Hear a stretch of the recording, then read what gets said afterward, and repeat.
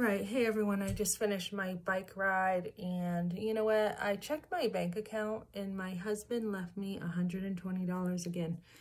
Um, you know what? It's a joke. Honestly, it's a joke. $120 I will be living on. So he doesn't want to take care of his family. He's got his family involved and they don't want to take care of their daughter-in-law and their grandson and it's just so sad. It really is. So anyways when you marry into the wrong family you need to look out because whoa they will try to tear you to pieces.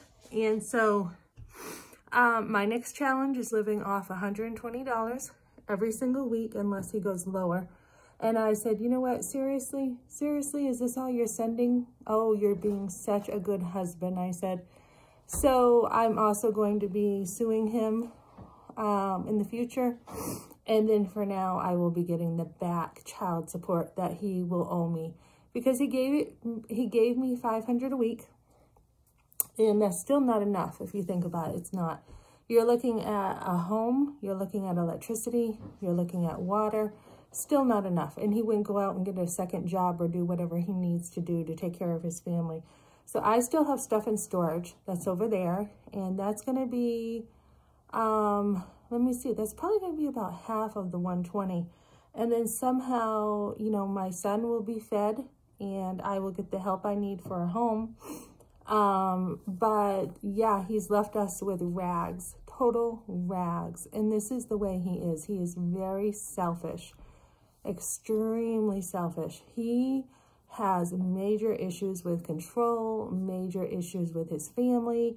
So um, I will be living off $120 for now with a kid who's under 18.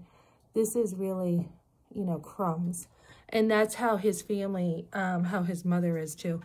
She will give the littlest thing and make it look like it's a big deal. She'll give you like this, um, you know, this card or she'll help her son and then he owes her pretty much for life. Like he'll, she'll buy him a helmet and, you know, he owes her or she'll help him with a, with his truck and he owes her for life. And they held the trailer over his head.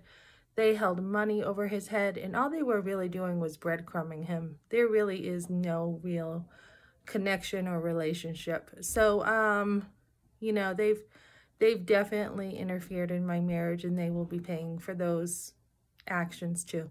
So that's what I'm looking at in the future. Meanwhile, $120 is what I will be living on. And luckily, I'm pretty minimalist, ladies. And in the future, make sure you take care of yourself first. And I saw this coming because back in Webster, when we were living there in New Hampshire, he actually left for a couple nights. So he's been wanting to leave for a while now. So this is his way of getting a divorce. He wants a divorce and he doesn't want to take responsibility for his family. And I told him he will have to divorce me.